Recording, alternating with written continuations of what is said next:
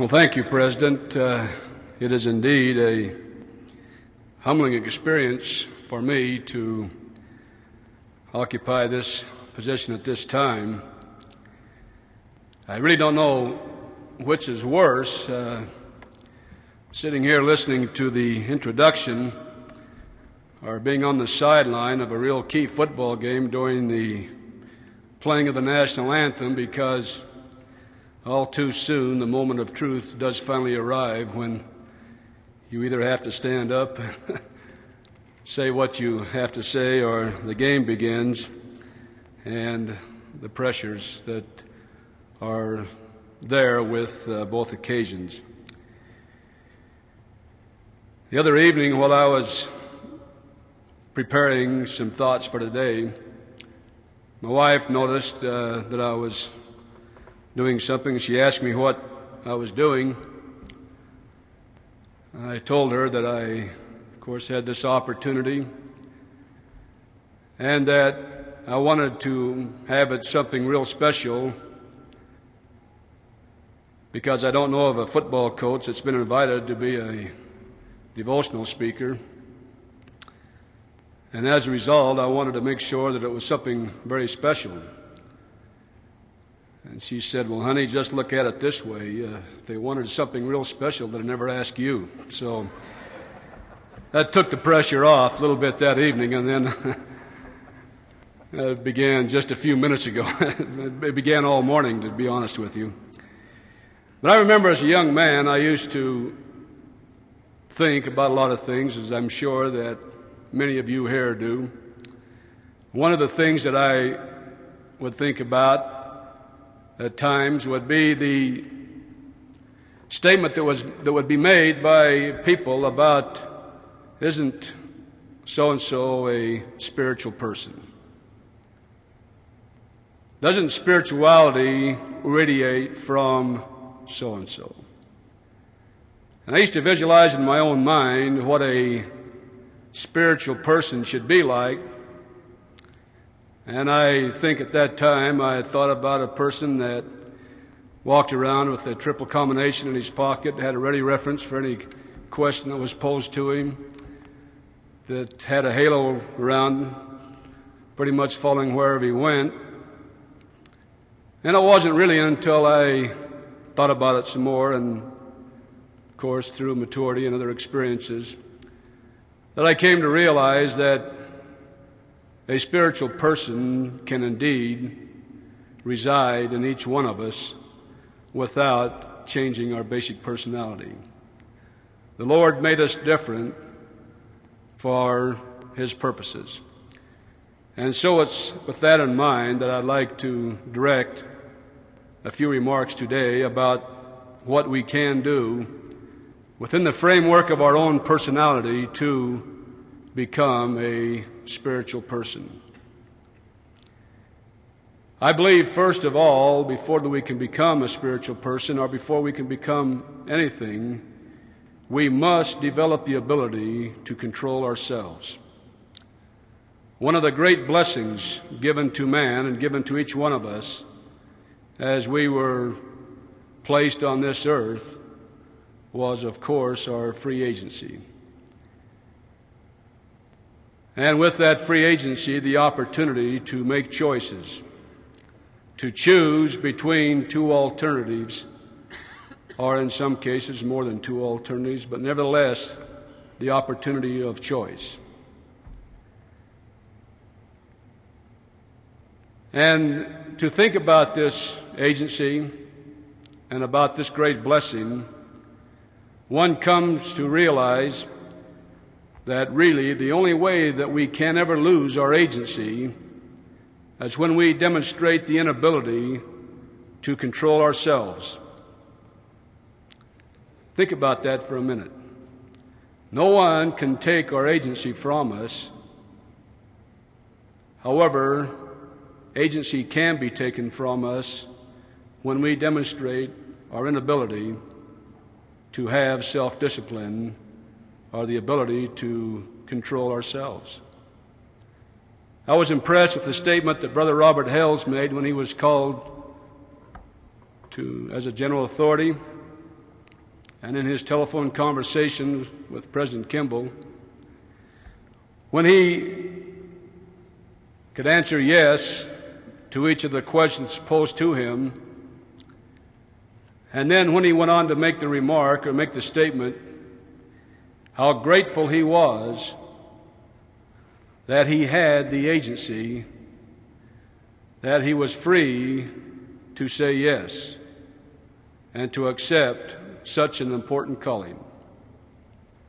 Because we are only free when we have our agency. And when we have and when we are in the process of controlling ourselves. President McKay has made the statement what a man continually thinks about determines his actions in time of opportunity and stress. A man's reactions to his appetites and impulses, when they are aroused, gives the measure of that man's character. Isn't this true? When we are aroused, how do we act? Or do we react? It's true that at this time we find the measure of a man's character.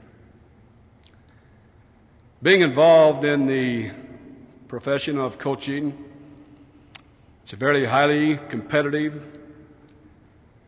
and emotional business. Without self control, and early in my coaching career, there were times when I didn't exercise great self control, whether it be on the sidelines, whether it be in my relationships with those that were under my charge. At that time, I can think back on a few games that were lost, on a few players that quit the teams as a result of this.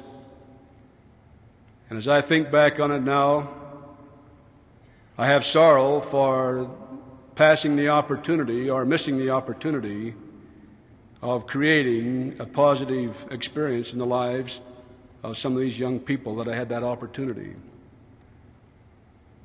So early in my career, I came to grips with myself that if I were going to stay in this business, and that if I were going to be a success in this business, that I would need to develop the capacity or the ability to control myself, myself in all situations, and to try and be a positive influence in the lives of those that I have the opportunity of working with. The Lord has indeed blessed me and my wife and my family in the opportunities that have been us been given to us in our chosen profession. So self-control has practical application as well as spiritual application in our lives. I'd like to illustrate this by telling a little of experience about one of the football players we had on our football team this past season and has been with us the last four seasons. Probably one of the more remarkable young men that I've had the opportunity of knowing and working with. And I can assure you that over the years, there have been many that I've had the opportunity of working and associating with. This young man is Orrin Olsen, and I'm sure that many of you have heard of Orrin, of his background. He's a brother of two brothers that were All American at Utah State University.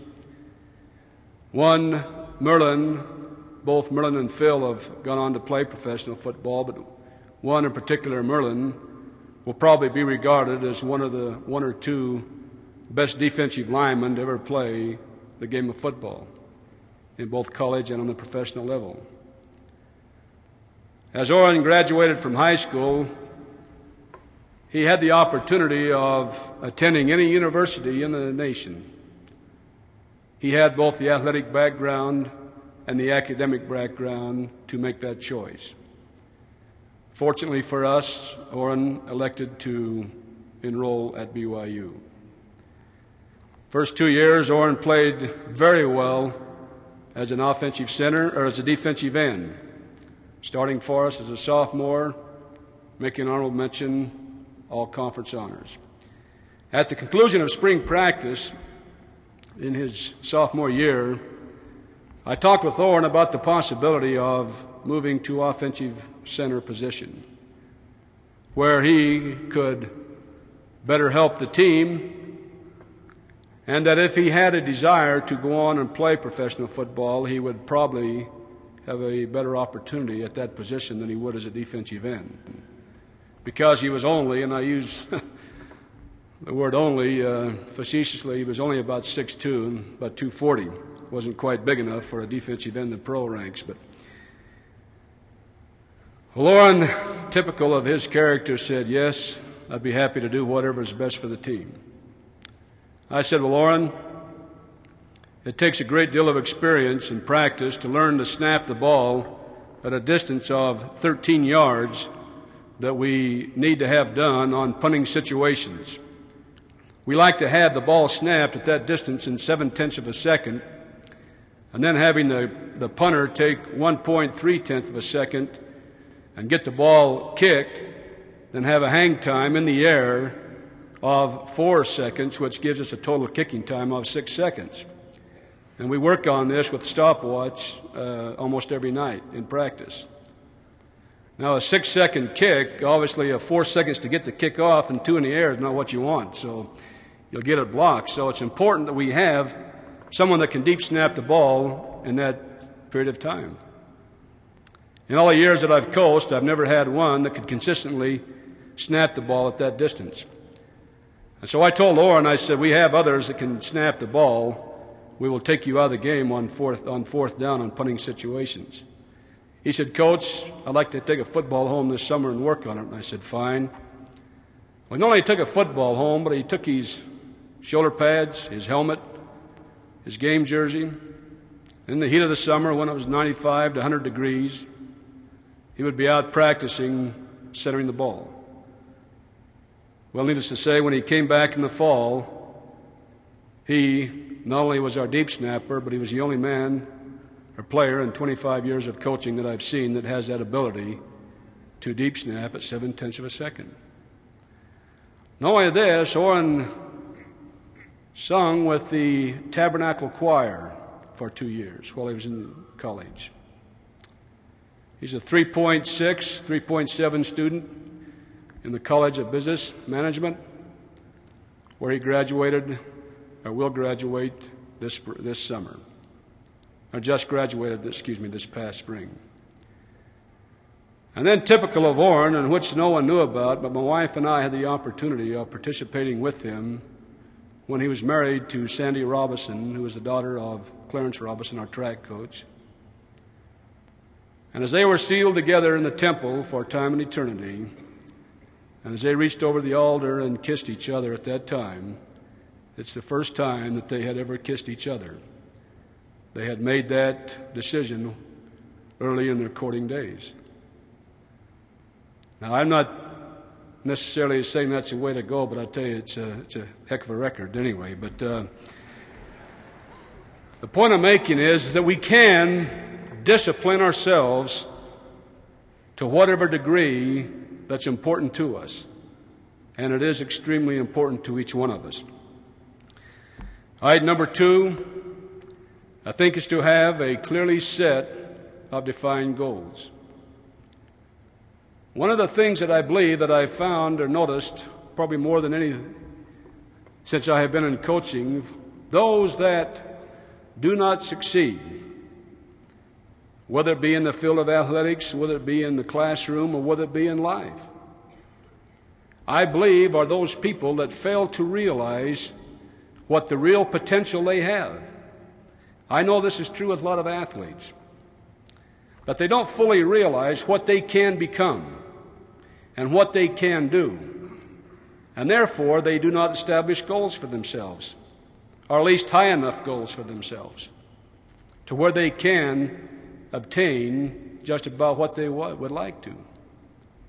I remember upon my, a few years ago when I was coaching at uh, Granite High School, there was a great track coach, one of the great ones in America at that time, who had been the Olympics team coach, retired.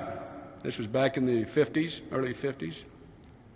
And upon his retirement, they asked him to list each one of the track events and what he thought would be the ultimate record in each one of those events. At that time, he said that possibly someday someone somewhere may be able to high jump seven feet. But he wasn't sure. There was a young man, Dwight Stones, over the weekend that high jumped seven foot seven inches for a new world record. There's a 17 year old high school lad here, state of Utah in Cedar City, that high jumped over seven feet. First high school player or athlete in Utah. I don't know how many hundred people there are in the country today that can high jump over seven feet, let alone the world. He also said that someday someone would be able to long jump, maybe 26 to 27 feet. A young man a few years ago in the Olympics in Mexico City long jump, 29 feet, two or three inches. And so it has been in each one of those events that were listed at that time about what man can obtain. And each one of them have been surpassed by a wide margin, which only goes to show that we can become just about what we want to become if we can have a clearly defined set of goals and a clear image in our own mind of what we can become. Now, whether it be to establish goals for yourself to read X number of scriptures a week, a day, a month, a year, whether it may be goals that you have established for yourself in your school, in your dating, in all facets of your life. I know that we have established goals in our football career. My wife and I have established career goals, one of being which to be rehired every year. Uh, someone has once said there are two kinds of football coaches in America those that have been fired and those that are going to get fired. So I hope that doesn't happen for a while, President. Uh, after that introduction, I was all ready to hand him a new contract to see if he'd sign it, but, uh, but it is important that we do establish and have goals in every facet of our life. The third part is to develop the capacity to serve others. I think there are probably a lot of great ways that we can become of service. I remember last fall, after getting off to one of our typically great starts, we lost our first three ball games. And on the third ball game, from coming home from Arizona State, we lost a particularly tough game. We flew back, and as we were flying over the airport, looked down, there must have been two or three hundred people there. And I thought this was unbelievable. Only at BYU could you go out and lose three games and have that kind of support from the students and from people. And it really touched me to a point where I was sitting by one of the coaches and I said, Isn't that something? I said, Here we are, we've lost three games, and all these people are here to meet us at the airport. I reached my wallet and took out a $20 bill, and I said, I'm going to drop it out the window and make someone happy down there. He said, Well, why don't you throw two $10 bills and make two people happy? And I thought that was a good idea. Finally, someone said, Well, why don't you take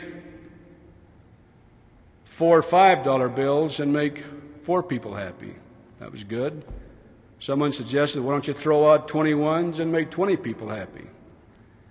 And about that time, our trainer, Rod Kimball, a very wise man, woke up and he said, Why don't you jump out and make everybody happy? So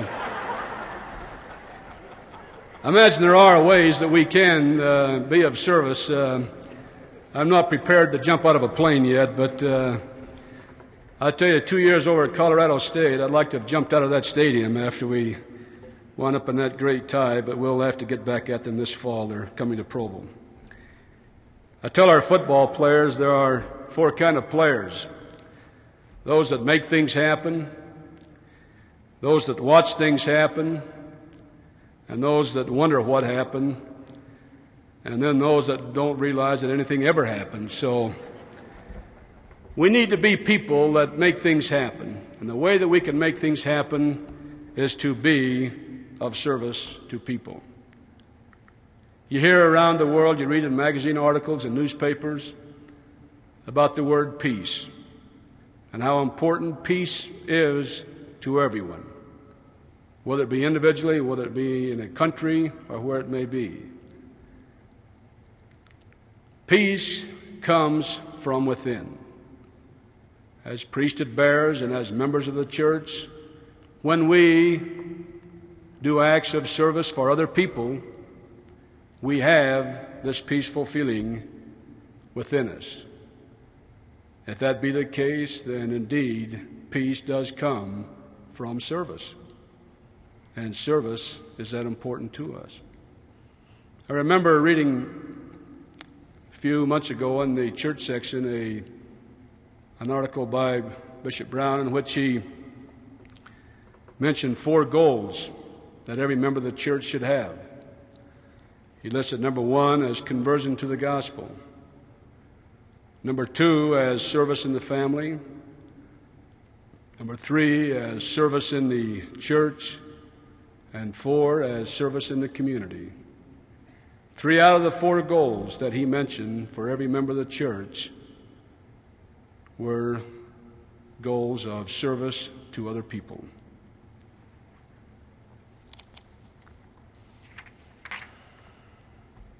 An old man going a lone highway came upon the evening cold and gray to a chasm vast, deep, and wide, through which was flowing a swollen tide.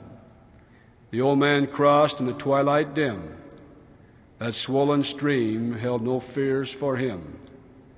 But he paused when safe on the other side and built a bridge to span the tide. Old man, said a fellow pilgrim near, you are wasting strength with building here. Your journey will end with the ending day. You never again must pass this way. You have crossed the chasm deep and wide. Why build your bridge at eventide? The builder lifted his old gray head. Good friend, in the path I have come, he said. There followeth after me today a youth whose feet must pass this way.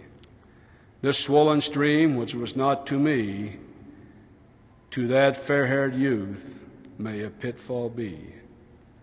He too must cross in the twilight dim. Good friend, I am building the bridge for him. Wouldn't it be good if we all had the attitude of this man as he was building this bridge? The fourth is to be receptive to the Holy Ghost. I remember a few years ago we had the opportunity of recruiting a young man to our campus who was a non member of the church. And he played very well for us on the freshman team at that time. Freshmen were not eligible to play. And played very well during the fall. During the spring of the year, and in football, college football at any rate, Spring practice is probably the most important time in the life of a college football player. For all intents and purposes, it is during the spring that they determine the level in which they will start the fall and whether they'll be on the first, second, third team, or whatever. Well, this young man started spring practice as a third unit defensive halfback. By the time we concluded spring practice, and at that time we were playing a team composed of alumni.